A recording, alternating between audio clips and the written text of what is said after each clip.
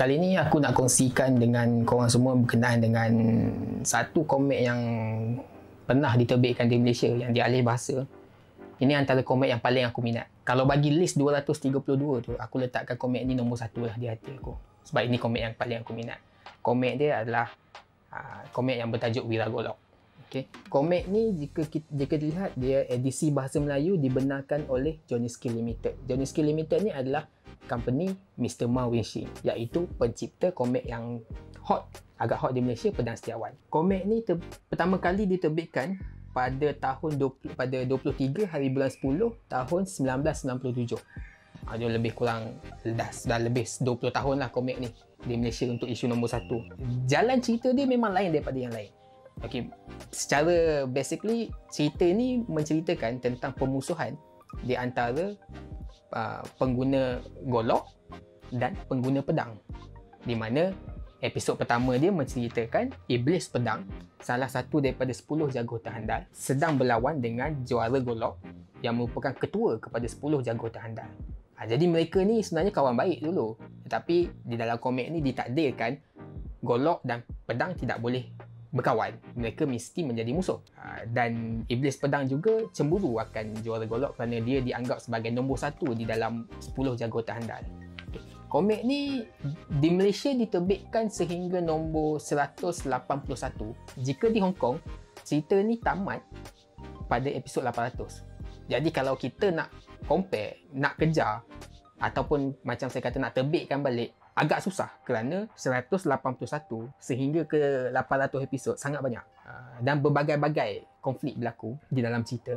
Tapi jika hendak dihuraikan daripada episod 1 hingga episod 180 saya sudah amat berpuas hati sebab cerita ni uh, dia terbahagi kepada beberapa part. Viking, Yichu dengan Diowa bergandingan berlawan dengan Sajana Keshu di zaman uh, merah. Part di mana Raja Solo diserang beramai-ramai perjalanan berdarah di musim sejuk di mana Viking pergi membantu menyelamatkan Yichu. Okey, jadi sebelum tu hero kepada komik ni adalah Hank Viking. Ha, dia merupakan anak kepada si Hank iaitu antara watak misteri di dalam komik ni. Apa yang menyedihkan saya adalah ketika komik ini ditamatkan di Malaysia pada episod 180 watak penting iaitu si Heng, watak kepada ayah Viking, muncul sekitar episod 188 atau 189. So sikit je lagi sebab di dalam buku ni dia memang buat kita tertanya-tanya ke mana perginya si Heng.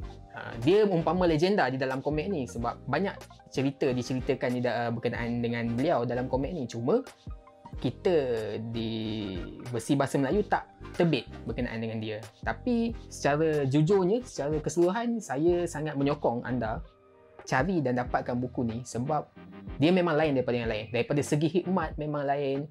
Kita biasa tengok kalau komik uh, Alam Perwira, komik-komik Tony Wong, hikmat dia untuk komik-komik lain mesti sama. Macam dalam Alam Perwira ada komik Alam Hikmat, Hikmat Alam Semesta. Di dalam komik dia yang lain pun ada juga hikmat yang sama. Tetapi di dalam komik uh, anak uh, Wiragolok ini memang kita takkan dapat jumpa hikmat tu daripada komik lain. Dia memang bukan kopi, kopi komik, kopi hikmat.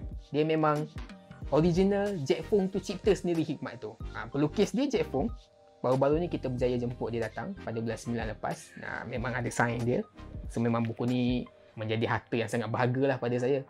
Nombor satu, lebih 20 tahun dalam kondisi yang masih cantik ada pula sign pelukis DJ Fo. Sukarlah kot untuk anda dapatkan komik ni full set sekarang sebab harga pun mahal. Tetapi anda boleh uh, layari laman web uh, ataupun Facebook Jejak Wira Legacy ataupun je Facebook peminat komik uh, Hong Kong Malaysia. Dekat situ anda boleh baca secara online uh, melalui Facebook lah. So saya harap kongsian saya kali ini dapat membantu anda semua terutama generasi-generasi baru yang baru nak menceburi bidang komik Hong Kong nak try baca betapa seronoknya komik Hong Kong ni. Lukisan yang sangat uh, power, realistik uh, warna-warni uh, berbeza dengan lukisan manga yang hitam putih. Ok kita jumpa next episode lah. Thank you